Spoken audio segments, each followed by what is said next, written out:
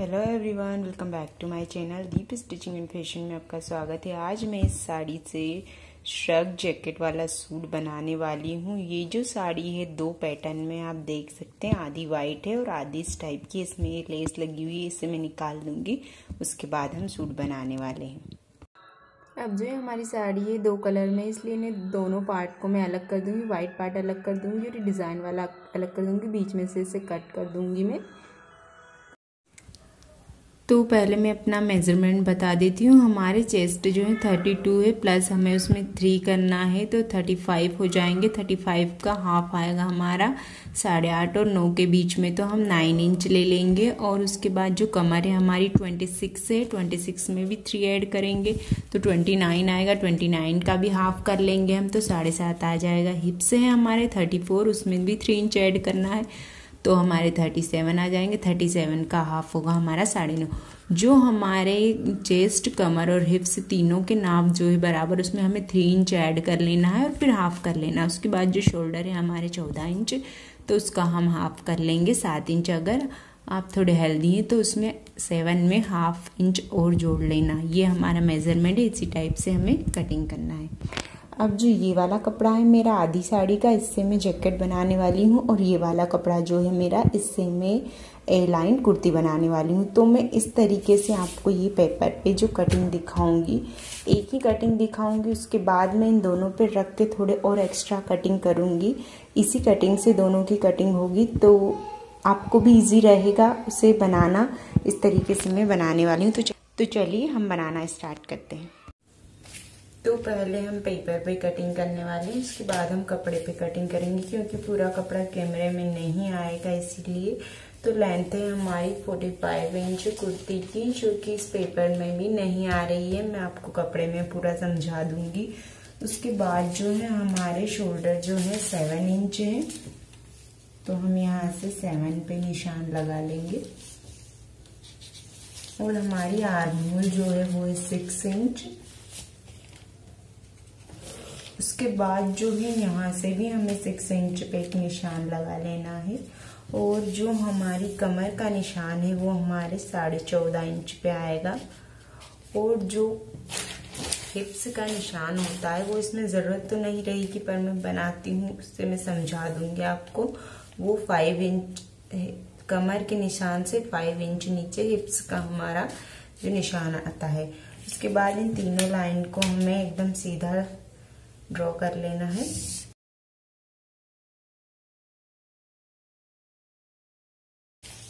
अब जो हमारे चेस्ट आए थे नाइन इंच पे, और हमारी कमर जो आई थी साढ़े सात इंच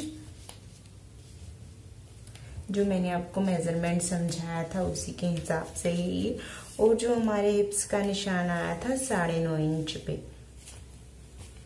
इस तरीके से। अब जो हमारा गला जो है, हम थ्री इंच की चौड़ाई लेंगे गले की। और जो हमारा फ्रंट गला होगा, वो सिक्स इंच होगा, कुर्ती का।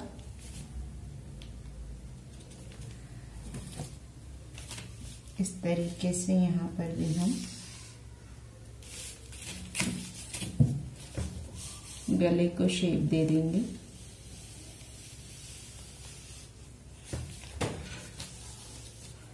यहाँ से हम इसका हाफ़ लेके थ्री इंच इसका हाफ़ लेके हम यहाँ से भी आर्म होल का शेप दे देंगे। इस तरीके से। इसके बाद जो है हमें इन तीनों पॉइंट्स को मिला देना है। तीनों पॉइंट मिलाने के बाद हमें जो है एक एक इंच का मार्जिन ले लेना है सिलाई के लिए। ये हमारी बैक साइड की आर्म होल जो का निशान है बाजू का, और इससे हाफ़ इंच अंदर की तरफ़ जो है, हमारी फ्रंट साइड का हो जाएगा।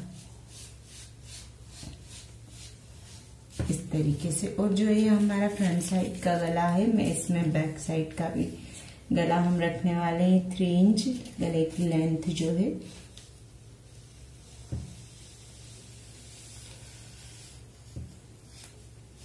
देखिए इस तरीके से इसके बाद यहाँ से हमें लाइन कुर्ती बनानी है, इसलिए एकदम सीधा।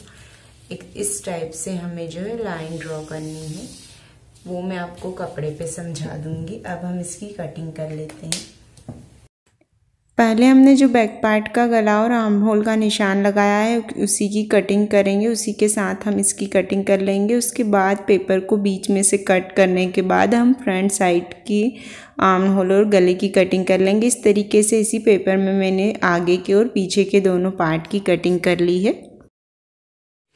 देखिए, अब जो है ये वाइट वाला पार्ट है, हमारी साड़ी का, जो मैंने दो पार्ट में कट की थी, ये ढाई मीटर कपड़ा है और जो इससे ढाई मीटर कपड़ा है, इसे मैंने फोल्ड कर दिया है, फोर लेयर फोल्ड किया है इसे। तो इस तरह इधर इसका जो, इधर इसकी फोल्डेड साइड है और जिधर हमारा नेक आएगा उधर और उधर इसकी जो है ओपन साइड है। आप देख सकते हो, उसके बाद जो लेंथ हमारी पूरी पेपर में कवर नहीं हो रही थी और कैमरे में भी इसलिए मैंने जो इसकी लेंथ है फोर्टी फाइव रखनी है तो फोर्टी फाइव में थ्री इंच हमें ऐड करना है फोल्डिंग के लिए वन टू थ्री तो फोर्टी एट हम लेंथ रखेंगे। यहाँ से इसे कट कर देंगे। उसके बाद जो ये हमारी हिप्स की लाइनिंग है, इससे मैंने इंच टेप रखी और हमें ए लाइन शेप देना है इस तरीके से। क्योंकि इसमें मैं बनाती तो दिखाई नहीं देता, इसलिए मैंने इंच टेप रख के आपको समझाया। वहाँ से हमें सीधी कटिंग करना है इंच टेप जहाँ रखी और उसके बाद जैसा हमने ड्रॉप बनाया है, सेम उसी टाइप से ये पहले मैंने बैक पार्ट रखा है। उसके बाद में फ्रंट पार्ट रख के कटिंग करने वाली हूँ। पहले हम ऐसे इसकी कटिंग कर लेंगे, फिर एक लेयर हटा लेंगे, फिर हम फ्रंट पार्ट की कटिंग करेंगे।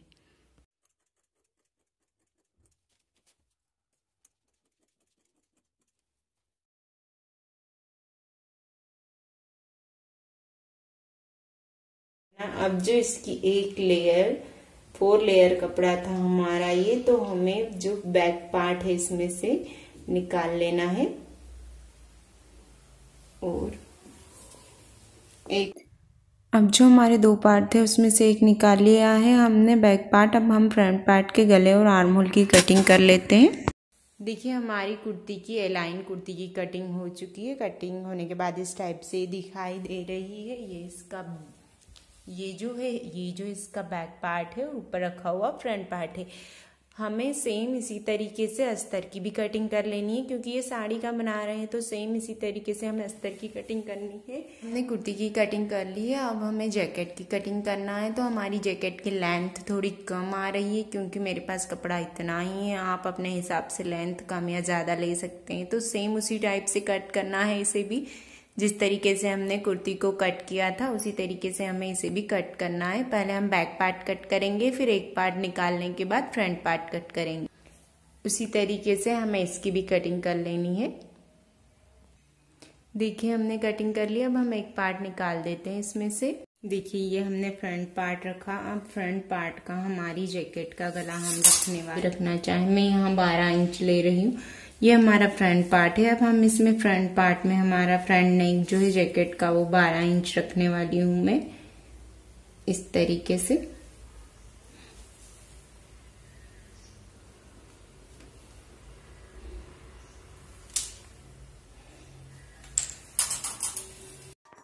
हम इसके फ्रंट नेक की कटिंग कर देंगे, उसके बाद आर्म होल में भी हाफ़ इंच गोलाई दे के फिर कटिंग कर देंगे, क्योंकि ये जैकेट है इसलिए इसको हमें बीच में से भी कट करना है, क्योंकि ये सामने से खुली रहेगी। देखिए, उसके बाद जो नॉर्मल हमारी लॉन्ग स्लीव्स आती है, मैंने लेंथ जो रखी है, इसकी चौदह पंद्रह इंच आप अपने हिसाब से जितनी रखना चाहते हैं, रख सकते हैं। और जो लॉन्ग स्लीव्स आती है, मैंने कट कर ली है। उसके बाद जो है, हमें नीचे की तरफ़ यहाँ पे, यहाँ से हमें जो है नाप ले लेना है। जहाँ तक हमारी स्लीव्स हमने रखी है, वो है मेरा है नाइन इंच तो उसका हमें फोर्थ कर लेना है। तो हमारा आ रहा है दो इंच एक पाव। तो मैं यहाँ से ढाई इंच पे निशान लगा लूँगी। जहाँ तक मेरी स्लीव्स ढाई इंच पे आती है, ये मैंने फोर लेयर कपड़ा लिया है। आपको मैं दिखा देती हूँ। इस तरीके से जो ये मेरा कपड़ा बचा हुआ था, उसे मैंने इस तरीके से फोल्ड किया है। उसके बाद जो है हमने इसे इस तरीके से फोल्ड कर दिया है। देखिए, और यहाँ से हम ढाई इंच पे जहाँ तक आता हमारा, वहाँ निशान लगा लेंगे। और फिर हमें जितनी लंबी यहाँ से हमारे स्लीव्स में चाहिए, उतनी उतनी लंबाई हम लेंथ इसकी ले लेंगे। मैं यहाँ ले रही हूँ सिक्स इंच यहाँ से भी हम सिक्स पे निशान लगाएँगे और यहाँ से भी हम सिक्स पे ही निशान। अब हम कट कर लेते हैं। यहाँ से हल्की सी हमें इसमें गोलाई दे के कट करना है। इसी तरीके से यहाँ से भी हमें कट कर देना है।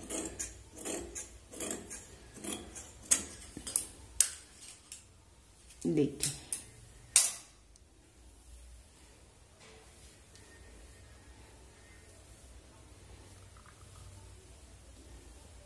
इस तरीके से हमें इसमें से अटैच कर देना है।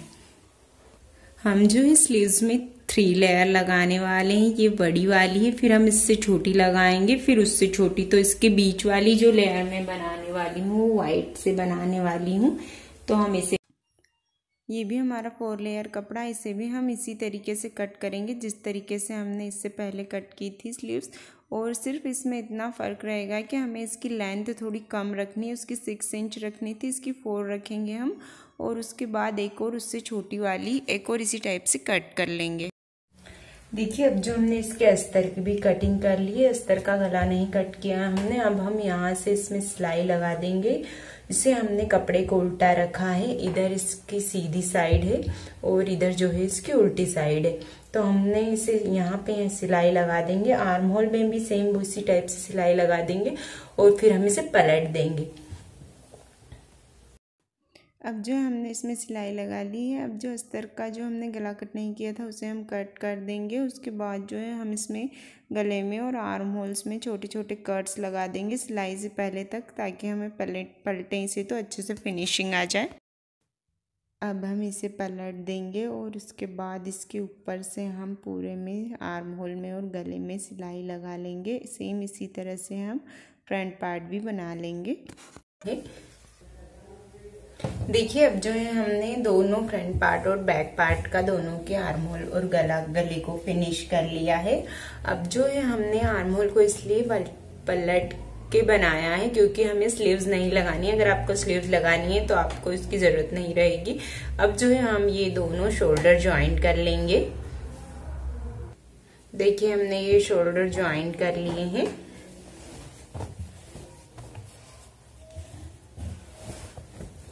इस तरीके से हमने ये दोनों शोल्डर ज्वाइन कर लिए हैं। शोल्डर ज्वाइन करने के बाद हमें साइड से दोनों तरफ़ जो है नीचे तक सिलाई लगा देना है मेरा देखिए, इस तरीके से हमारी कुर्ती बन के तैयार हो गई। आपको नीचे से गोलाई देनी है, जैसा आपको रखना है, सीधा स्ट्रेट रखना है। गोलाई देनी इस तरीके से आप कट कर लें और सिलाई लगा दें। देखिए, हमारी ये जैकेट है और ये ऊपर का फ्रंट पार्ट है और नीचे का बैक पार्ट है इसका और ये इसके शोल्डर है। इसे इन दोनों शोल्डर्स को हमें जो है जॉइंट कर लेना है। यहाँ से यहाँ तक सिलाई लगा देनी है। इसके बाद हमें जो है, हमने शोल्डर जॉइंट कर लिए हैं इसके। इस तरीके से हमें जो है ये क्रॉस पट्टी कट कर लेनी है और ये गला जो है हमारा इसमें डबल फोल्ड करते हुए पीछे से लेके आगे तक, पूरे गले से लेके नीचे तक हमें ये क्रॉस पट्टी डबल करके सिलाई लगा देनी है। उसके बाद इसे हमें फोल्ड कर देना है और फिर सिलाई लगा देनी है।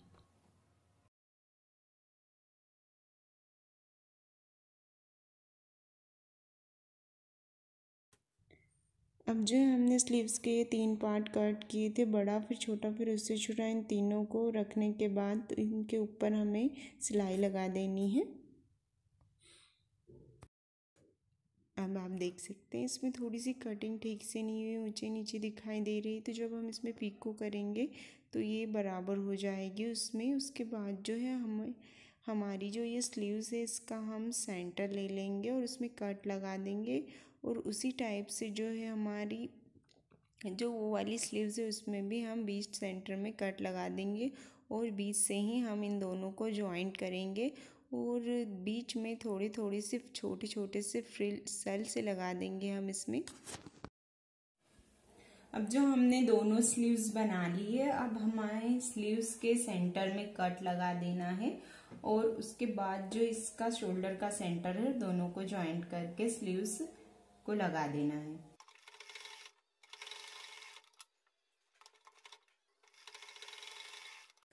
दोनों स्लीव्स अटैच करने के बाद साइड से स्लीव से होते हुए हमें पूरी नीचे तक सिलाई लगा देनी है। उसके बाद नीचे से भी हमें इसे फोल्ड कर देना है। तो देखिए इस तरीके से हमारी ए लाइन ये कुर्ती बनी है और इस तरीके से हमारी जैकेट बनी है।